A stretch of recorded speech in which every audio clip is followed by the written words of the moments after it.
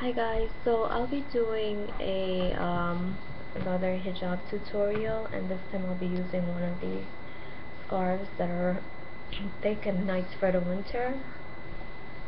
So what I'll do is I'll basically fold it, not exactly in half but I have enough coverage in the back where it's not too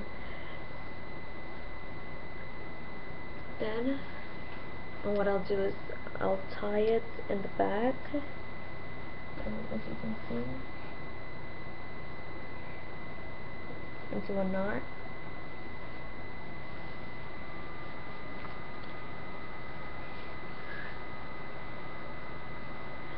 And what I'll do is I'll bring this around and what you can do is a headband for this look like so and then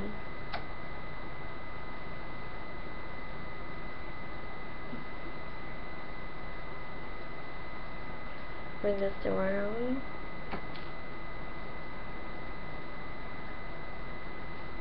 for those who like to wear earrings, you can actually do an earring with this look. A pair of earrings with this look, but I just find the earrings to be a tad bit much and annoying. Oh.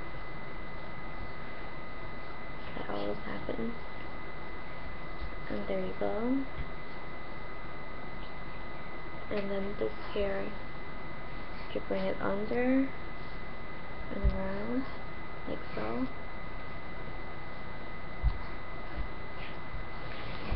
And this is basically what it looks like.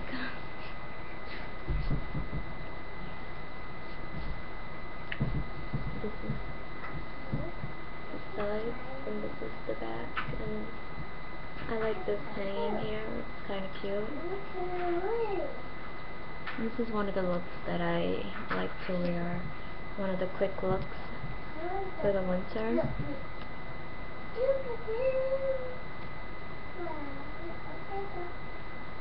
And it stays in place with the ninja scarf under.